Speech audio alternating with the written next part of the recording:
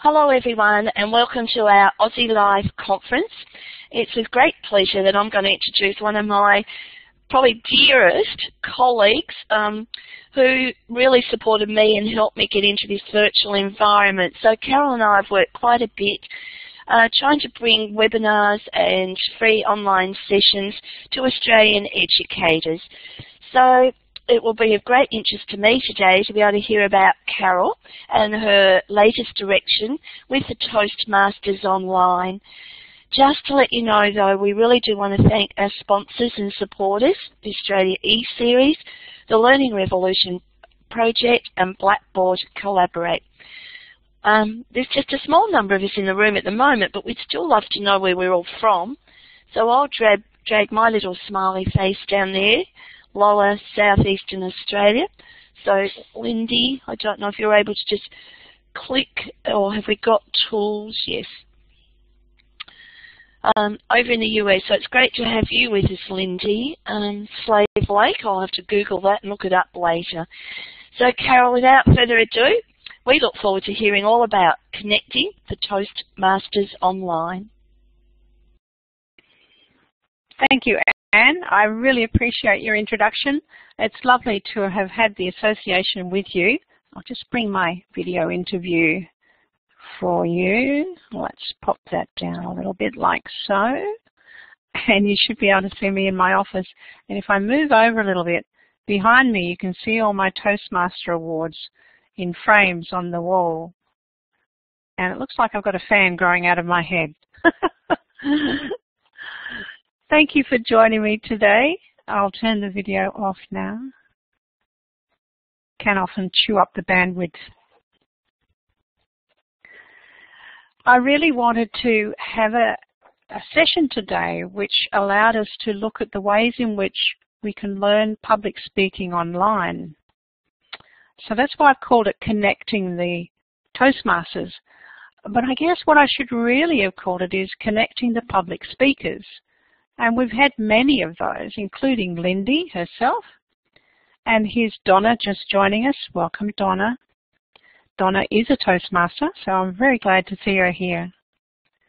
So my way of providing this webinar today is to focus on a little bit of the Toastmaster experience and to show what it's like to use those skills online.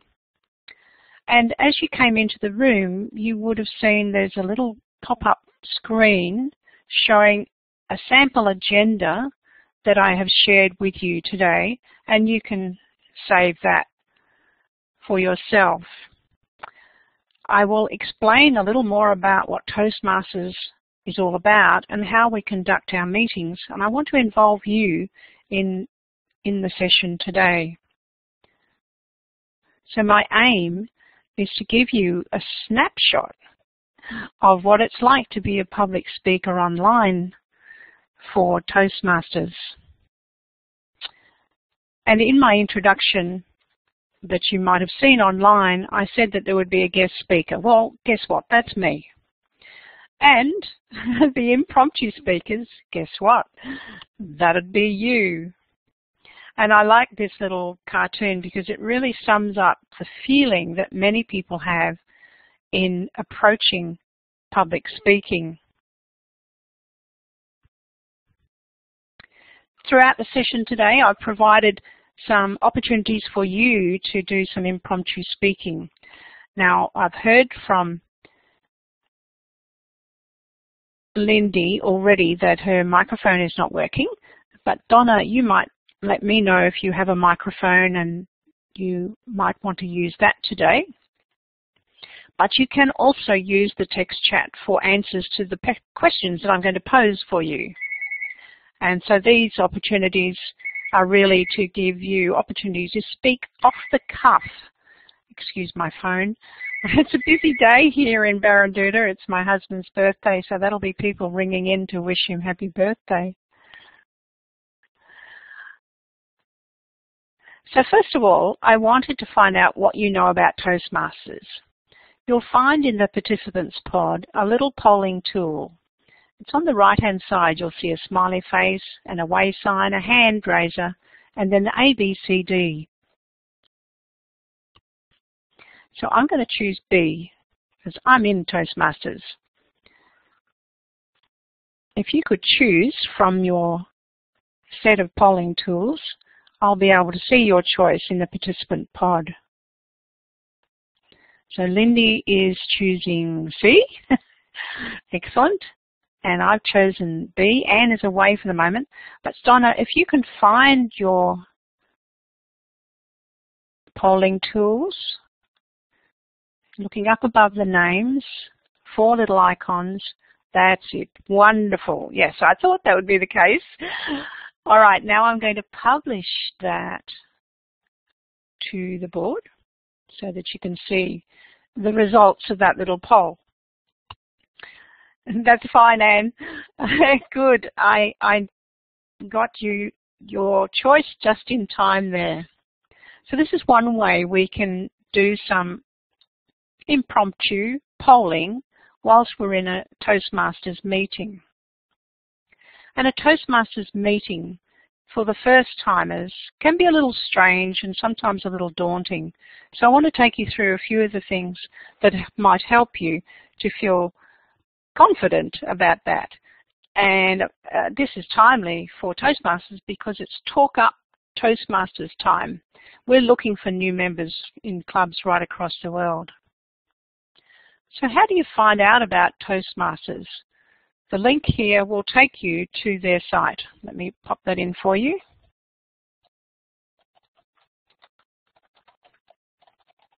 Some of us will know it well, and for others it might be the first time in. I think it's been revamped in the last few months and is now looking pretty sharp as a Toastmasters website. And you do get to log in, as you'll see here, there is a little login symbol. And once you become a Toastmaster, you have a unique Toastmaster number and an identity that allows you to log in and find even more details than you do as a guest. I might just pop out to the website and show you it live. Perhaps in just a moment. I need to make sure I've got that one up and ready to go. So first of all, I'm going to ask you some questions and I'd like you to pose questions for me in the text chat. And I see that Anne is well ahead of me and asked her first question. Anne, would you like to pop on your microphone and ask your question so that we have that recorded in voice as well? Um, Carole, yes. Because of um, my passion for global education, just wondering, are most countries represented or are there some um, that aren't? And is it mainly English speaking or do people speak in their own languages, etc.? An excellent question, almost on cue. it is uh, a large organisation, an international one that stretches across the world. Many, many countries are represented and many clubs have their meetings in their own native languages. We also have uh, some clubs who have uh, what would you say, a mixture of cultures and nationalities within them. And so they are encouraged to exchange their, their culture in those meetings. But what I thought I'd do is I'll pop out to the toastmasters.org and you'll be able to see for yourself just how far reaching it is. So I'm just going to share my application with you. Hopefully you can see that now.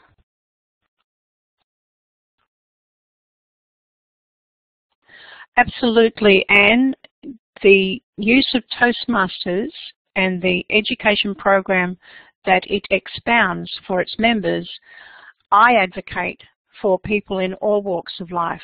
The younger members can do their Toastmasters experience through Gavel clubs, Gavel, G-A-V-E-L. And we do speak to classes. You'll find Toastmasters across the world doing exactly that. If you wanted to find a club in your neighbourhood, you'll go to the link at the top called Find a Club and we'll put in uh, the specific location. So let's put in Hawkesdale for Anne's location. I'm wondering why it's not allowing me. It's not allowing me to do it live. Uh, it's just bit slow. Carole, you may But just have to log yes. in, do you? Do you have to log in? No, in? not no, no. Anyone can do this, but here we are. It's picked up already some of those in Australia. So you can see a wide range of clubs showing on the screen from Palm Beach all the way down. Let me just scroll to Campbelltown. So it's assumed that I'm in the Sydney area, which is interesting. there are huge numbers. Donna, I'm sure you know the answer. How many Toastmasters clubs do we have in the world? Could you text that in? Or perhaps you'd like to use your microphone.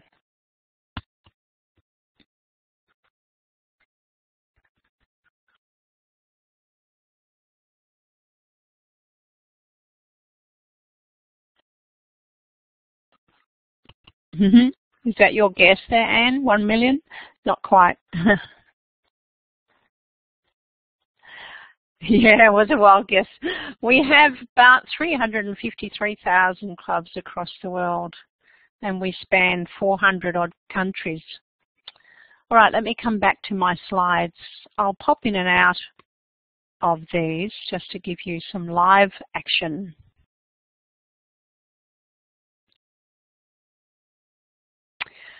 So here is a point.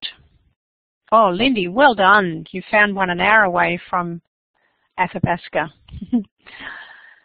Here's an opportunity. Why would you want to join Toastmasters is the question. And the second part of the question is, how could it help in preparing you for presenting online?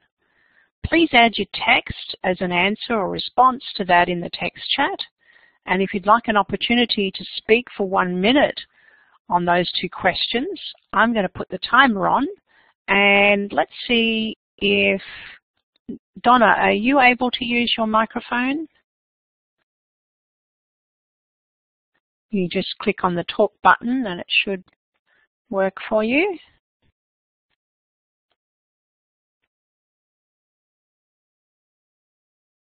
Is that working? It is working. Fantastic. Hello and welcome. Thank you. Okay, can you give me an answer to one or both of these questions and I'll put the timer on for one minute. This is done in typical Toastmaster impromptu times. We call them table topics. We do. Why would you want to join Toastmasters?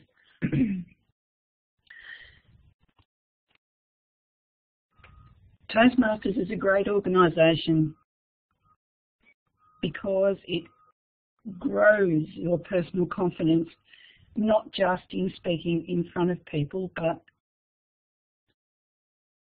in just articulating ideas and putting them in a formal framework so that you have an opening, a middle and a conclusion. And then, and you get to meet great people as well and link into lots of different places around the world. So that, and there are lots of resources to help you grow in that experience through the formal education. Well done. Okay, you spoke for a minute. it can be a little daunting, can't it, to uh, fill the time, but um, uh, good, good opportunity there. So Anne, I'd like to ask you the second question, and I'll give you a minute. And could you tell us how you think it would help you present online? how could uh, Toastmasters help me in preparing uh, for presentations online? I think it would have a wonderful impact.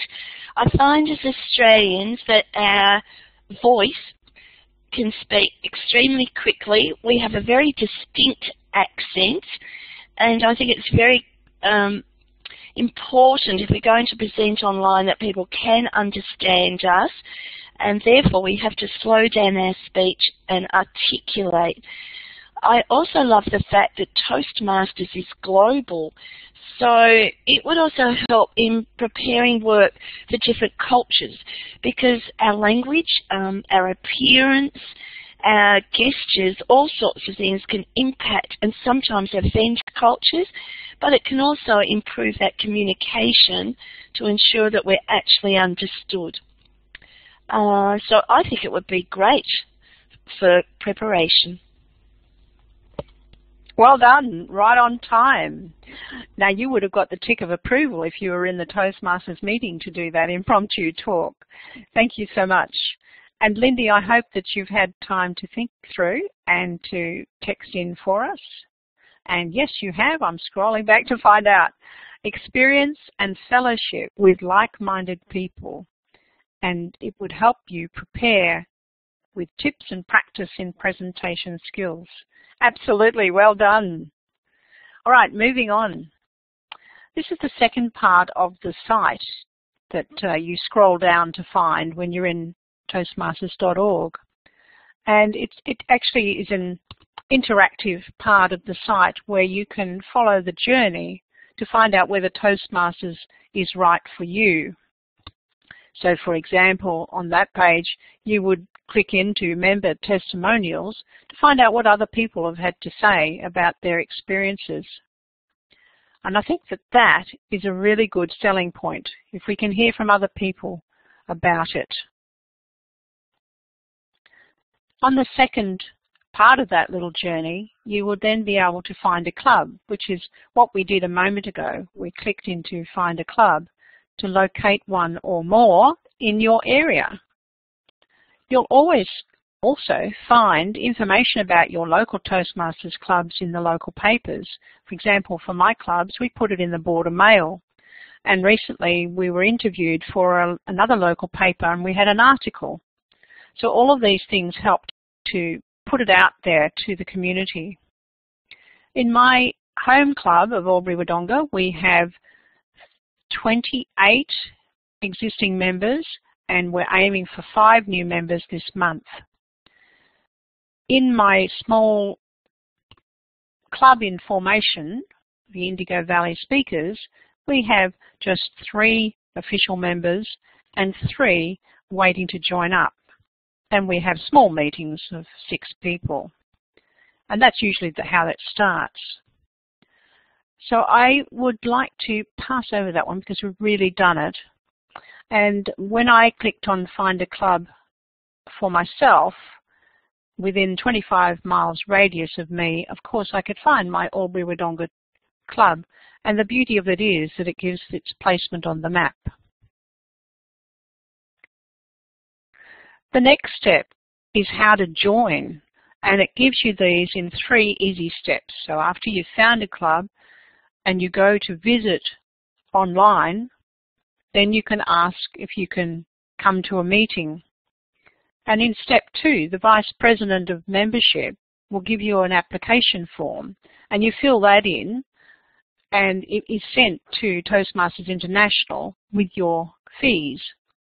They vary from club to club, but the US dollars for a six-month join-up is 36.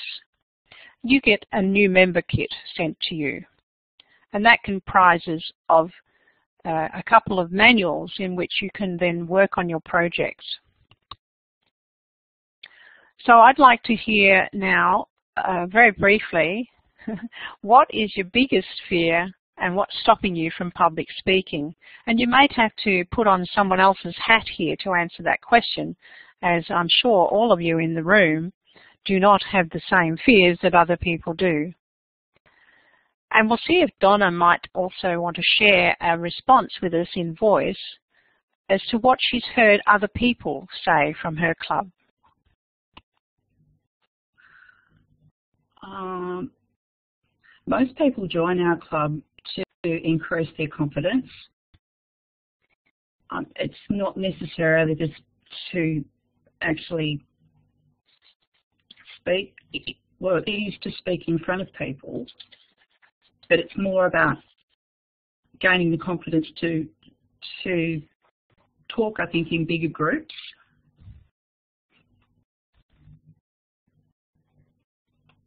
Is that Yes, absolutely. I agree with you wholeheartedly on that one. I find that many people from different walks of life have special occasions that they need to speak at and they are not confident. So they then think, well, who can help me? And if they are smart, they'll find a club, a Toastmaster club, and come and visit. All right, let's stop the clock on that one. Uh, let's see if Lindy's added anything extra in here. Uh, I see a question though from Anne. How do really nervous people get on? And that's an interesting question because in the club format, we pride ourselves on being a friendly, supportive club in which nervous people can feel supported. And we gently lead them through their tasks and not put too much pressure on them uh, immediately. So one of the first things that we get them to do in a little round robin is to just say who they are and why they've come along.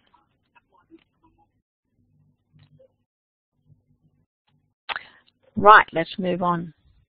On the next step in the journey, each person who then joins a Toastmaster club can work through a self-paced education program. And this program has changed over the years, and I have to say that Toastmasters has been going for 90 years now. We had our 90th birthday just last year. And it was originally set forward by Ralph Smedley in California as a way of improving people in community. So the education program has two main tracks. One is for communication and the other is for leadership. As Donna was mentioning before, some people join for one or the other of those tracks. As you see here on this slide, the communication track and leadership track are mentioned right at the top. That's where people begin.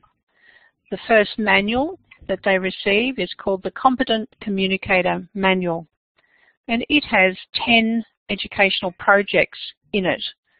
And they start off very simply with their first speech called their icebreaker.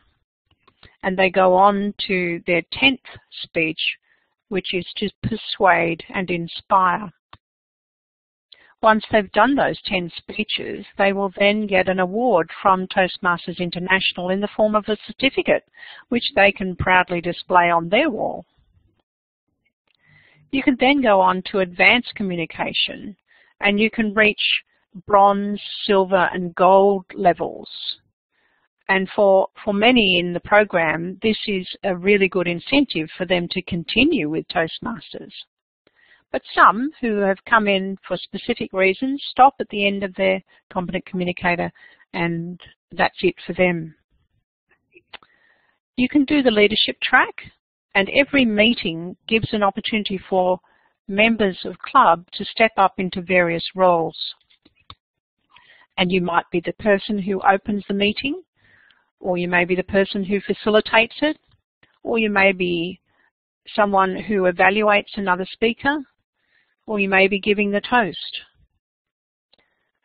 Plenty of opportunities within a club, and then you move on to doing club officer roles, in which you could be the president, vice president, and a few others that I'll, I'll list for you in just a moment. You can do advanced leadership projects there's one called the High Performance Leadership, which in, encourages you to do a, a project maybe inside your Toastmasters or in the community of much high-powered leadership. You get a special award for that one. And all of these go towards getting your Distinguished Toastmaster recognition. So we call that the DTM. And just a brief mention that as you heard me say, 90 years is a long time and things change, so they are revitalising the education program as we speak, and much more online opportunities are being brought forward. And so this link at the top here, if you find your way to it, you'll find more information about it. Yes, more and more of the program is becoming available online. So your first steps one that we advocate for new members or prior to becoming a member is to join what we call a Speechcraft program. So this is like a mini Toastmasters club that meets for between four to eight meetings and we give instruction on how to do each and every role and how to prepare their speeches and give them time to practice. You could run it online through your college, Lindy if your college is for adult learners. I, for example, am busy putting more and more online as I think about it, and Speechcraft is one of those.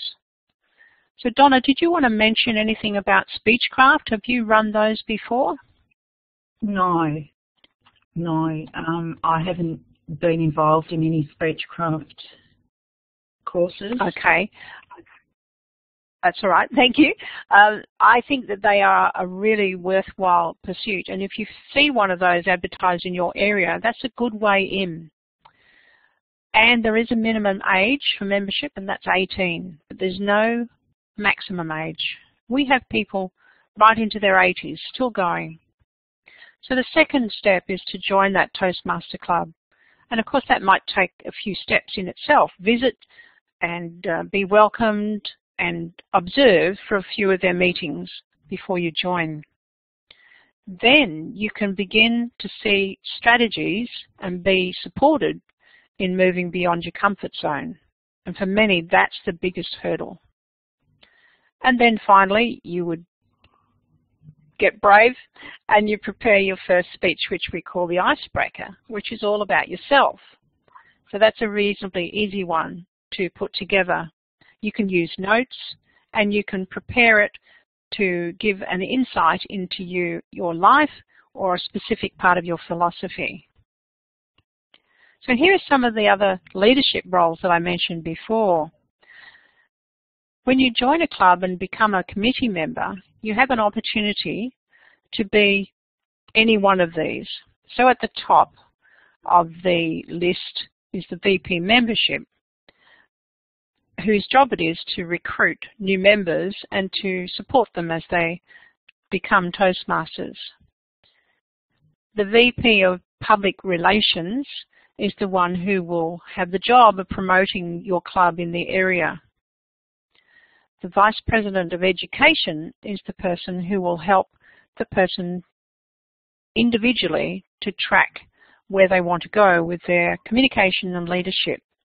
The president, of course, is the one who manages the club and gives the overall direction to the committee members. Secretarial role is an important one too, uh, who keeps the minutes of the meetings of the executive and does a lot of the uh, collection jobs for those visitor kits and new member kits from the post office. Sergeant at Arms is an interesting one it's kind of like the role when we introduce people on these webinars.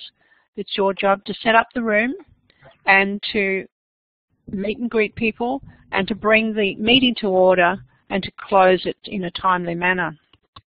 And of course we need the treasurer to accept the membership fees and dues and to remind us when they're due again. Thanks for your comments there, Lindy. Yeah, that's a good idea. Sponsors. Let's move on. This is the guest speaking part of this.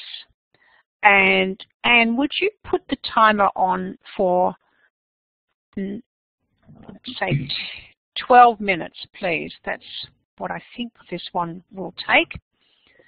And so when a guest speaker comes to a meeting, they come prepared with a speech that may be a personal one, but in this case, it is an educational one from another manual called the Better Speaker Series. And when I was putting this together, i have used some of the slides that Toastmasters International provide, but I wanted to focus on, or to get you to focus on how this might be useful for you in your role as a speaker online. And the first thing to do is to consider, did I jump two slides there? No, just checking. To consider the sources from which you might select the topic for your speech. For example, Anne's webinar that she has just finished today in OZeLIVE was called Using Skype in the Classroom. Now that's a topic of great interest to her and definitely one that was fitting for an educational audience such as ours. But for other people, they may in fact want to talk about their personal experience in their career or with their family. So there's a wealth of information within that to source your material. In other manuals, you're asked to reach outside of your comfort zone and to look for topics for your speeches that you might get from websites, Perhaps you read blogs and you are intrigued with some of the comments that come through from other educators and you want to make sure that you can pass that on to others in your club. Of course, books and magazines and newspapers then provide other reference material and some of these make really great sources of topics for your speeches. But once you've selected your topic, the next step is to consider your audience so what we're doing in this part of the process is to narrow your selection. You might have had lots of different ideas, but who is it going to be relevant for? So in an online audience, we're never sure how many are going to join us. Not that that matters, but if it's a very large audience, the way in which you do your speech might vary from when you're doing it for a small number today, for example, I've been able to integrate your comments smoothly because we're just a small group. Too hard to do with a large number. You, you might need to consider the age range and how important or relevant it is to them. So if a Toastmaster is going into a school to speak to a group of students, then of course their subject matter will need to suit that age group. The biggest thing that we need to focus on, I think, to narrow your selection is how familiar are you with the subject and how can you do it without re uh, reference to notes to any great extent. Some people use little jogging, jogger memory cards and others some slides like I am using here. But we give people opportunities in our club meetings to use all of these tactics so we want to expand our ability to do so. And consider your audience's interests and backgrounds and experiences and try not to preach to the converted and also to make them think. In narrowing your selection, you would also need to consider the occasion. Many times our Toastmaster meetings have themes so for example, on the agenda that I sent you for King Arthur's Playground, the theme for the meeting was beginnings. So the speakers try to mould their speeches to match the theme. So you'll see that Gandalf was giving a speech on cue, routine, and rewards. And Little Red Riding Hood was giving a speech on cold calling queen. And if you're looking at the agenda as I am now, each speech has a required minimum duration and a required maximum duration. So for these two speeches, uh, Competent Communicator 2 is between 5 and 7 minutes. I hope that makes sense to you. Unless you've been in a Toastmaster meetings, it might not. You also need to consider when are you scheduled to speak. If you're in a club meeting, uh, many people opt not to be first. That can be a little daunting. So sometimes we have two or three speakers, and on special occasions we have eight to ten. Also need to consider what will happen after your speech. What are you trying to do? What do you hope to achieve and what do you want your audience to take away? Now further narrowing your selection, you really now need to consider your enthusiasm and interest. As you can see, I'm very comfortable in talking about uh, Toastmasters and speech making because that has been a driving force for me since 2002. Of course, consider your knowledge base and bring into your speech stories about your experiences. The more stories you use, the greater audience engagement you will have. And finally, if you're an authority on a particular topic, then use that to great advantage to persuade. Now it's time to really be specific. What I'd like to be able to say to a lot of the people who come to do webinars here is to try not to tell everything and have 100 slides. It's a lot for people to take in. So be specific and make sure the topic is enough for the time allotted. Then you look at the subpoints and you're trying to make sure that each of those add to the speech value. If they don't, then cut them out. You need to consider what you can cut from the body of your speech when you're trying to match it to the time that you're allocated. It could be 5 to 7, it could be 8 to 10, and in some of the longer speeches you get 12 to 15. So in conclusion, what you will do is have your personal experience, your resources, and all of those consider consideration towards an excellent speech topic. So that's segment one. I'll be happy to get your comments into the text chat, that would be good. But there's more. but wait, there are steak knives. The next thing is to organise your speech. This is a typical way we do it in Toastmasters. Tell them what you're going to tell them, then tell them, and finally, tell them what you told them. Of course, you develop an outline and you have your introduction, your body, and your conclusion. And I think that rounds everything out neatly and makes it a more enjoyable experience for your audience, whether they are in front of you, live, or online. And here's a list of steps for you to fill in the outline I think these are, are typical of writing a speech as they are for a report or other kinds of educational matters. And I think the comments that you've just made in the text chat is a valuable one. I think they are great tips for teachers. When I first joined Toastmasters, I had been a teacher in the classroom for many, many years. But I was morphing into a tertiary educator and my confidence levels weren't the same. So I needed to revisit my skills and I joined Toastmasters for that very reason. I like this little quote and I'll leave you to read it for yourself. So far we've covered choosing your topic and then organizing your speech.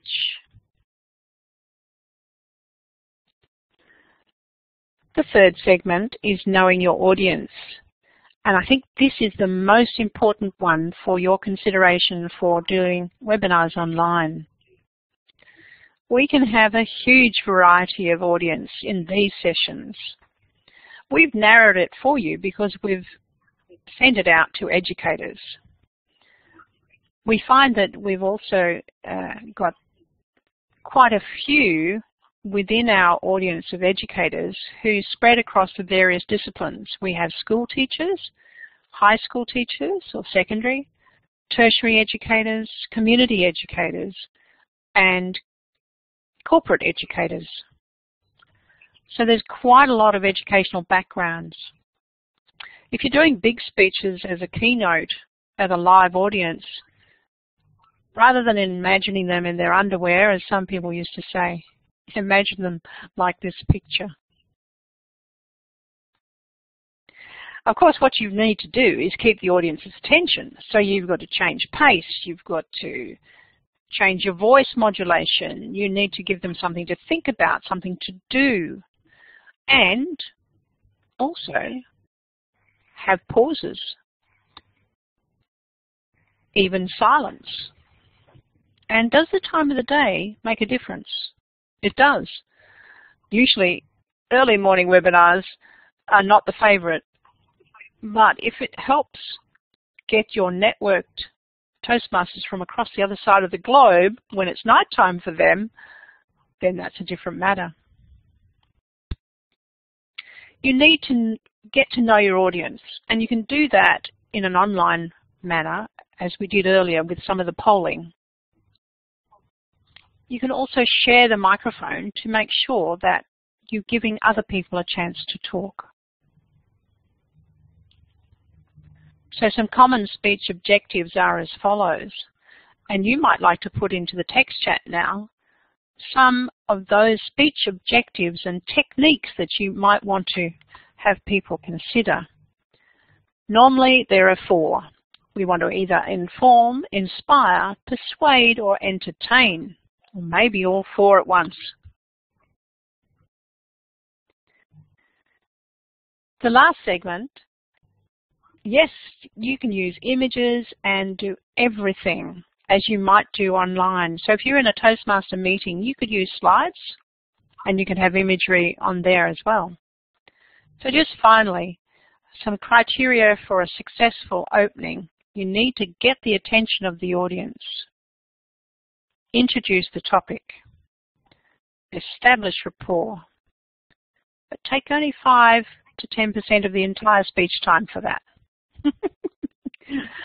All right. Thank you so much for your attention on, on that matter. I'll hand back to Anne just for a moment while I get to my next slide. Wow, Carole, I wondered how you go with 10 minutes and to do it almost to perfection certainly shows what Toastmasters or the experience of Toastmasters has helped you do. I think that's fabulous. And some of your points, I keep thinking, that's what I've got to do as a teacher in my classroom as well. So thank you for sharing all that. You're very welcome. And I hope that it resonated for Donna and for Lindy I'd really uh, value some of your comments now in the text chat, in particular now about this new question. What techniques might you use for your opening statements in your speech? And let's see if Donna is still on her microphone. Yes. Is there mm -hmm. something that you might advise there, Donna? Um, ask a question that's to, to establish rapport and actually get your audience's attention. So you could, if your speech was about um, say small children, you could start with, have you ever gone out and played in the rain? Um, and make it a little bit intriguing so that yeah. you've you've engaged with your audience and and they want to hear more. Absolutely, I like that. And as we see in the text chat, that is the hook or the coat hanger that draws them in. So using a question is a really great way to start. You might do it even more simply with stating the importance of your topics and why you want the listeners to learn or to listen.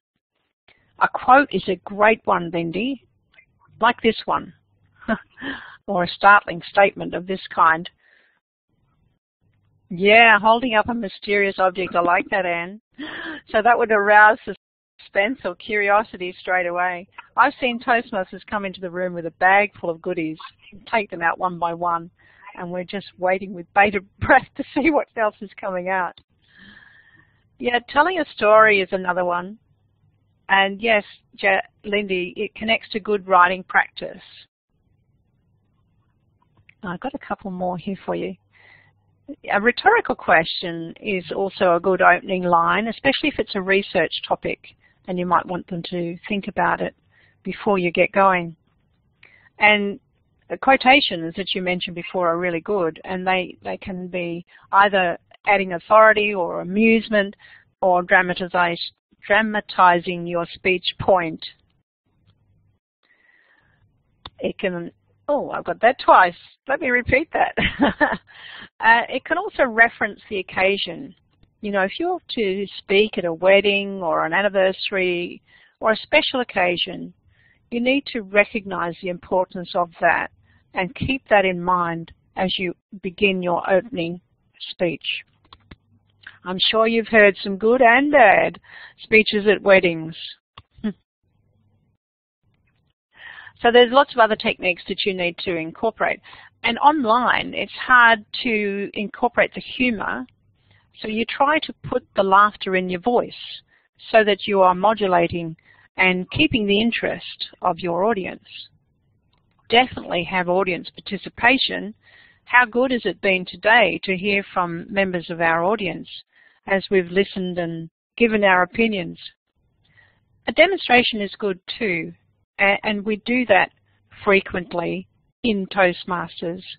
And to do it online using the application sharing is a really nice one to do. I'm just going to share that little agenda with you so that you can see another little technique of how Blackboard Collaborate allows you to do that interaction. So this is a typical agenda that you might see for a meeting. And uh, this is a fictitious club uh, where the president is King Arthur. and I'm the area governor, of course. And the times are given, as I hope you can see here if I highlight it. Times are given for every segment on a, an agenda. So there's a timer who will let us know if we have reached the end of that time. So we go through a call to order and the Toastmaster will introduce the program. Then we have the table topics master who is a little bit like myself at the beginning of this session, who poses a question and allows you a minute to answer the, the question of the time. Then we have a couple of prepared speeches, as you can see here, each of which has their own time limits. Then the most important part of Toastmaster meetings and hearing speeches is the evaluations.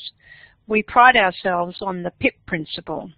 P-I-P, standing for praise, improvement and praise, so that the person who's given the speech walks away from that meeting feeling 10 foot tall and ready to come back to tackle another one. And finally we have some reports, so the timer tells us how well we adhered to our time. We're pretty anal about time in Toastmasters. Everything is done specifically for time. The general evaluator has an interesting job at the end of any meeting they give an overall impression of how everyone has fulfilled their tasks. So this gives the leaders of the Toastmasters meeting a chance to see what others have seen of their work. And in this particular case, they spend an hour at the end having refreshments. Quite often meetings, though, are two hours long. Here's another quote for me to finish up with today. A dynamic beginning is essential for a successful speech. I will slip down now to my final slide. We won't have time for concluding. Just to show you a little bit more about myself and to give you my contact details. So with that, I will finish up and hopefully you've enjoyed a brief journey into Toastmasters. Back to you, Anne.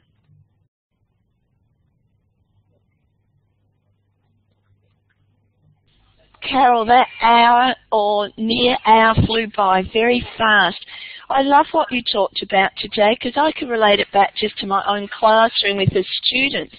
Um, very, very interesting because I don't know a lot about Toastmasters, although family, friends, um, parents have been in it for a long time. So thank you very much, and it was wonderful, Donna and Lindy, having you with us too, contributing both on the microphone or the chat. So if people would like, uh, can we, are we allowed to save your slides, Carole, or we can save the chat anyway by going to File and Save? Yeah, please do save the slides. And I think before you all depart, or as you depart, you'll know you'll get a, a survey form to fill in. It'd be great if you would do that for us. Um, Carole, I can't believe you were right to the second of that. It was a 10 minute speech, wasn't it? That was amazing. And just to let you know, the final keynote is on almost in three minutes. So Carole, I've closed down my windows because I can't go there. Do you have the link or else go back to the OZeLIVE Ning and you'll find the link to our closing keynote. Thanks again. Thank you, Anne.